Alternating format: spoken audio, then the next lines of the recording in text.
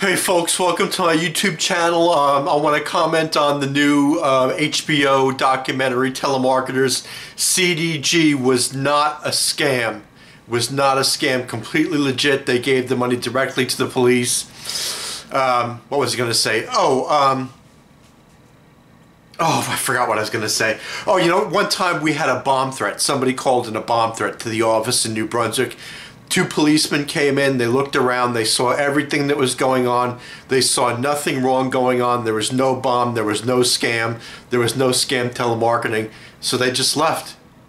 And that's what i have to say today folks on uh, september 18th 2023 see you next time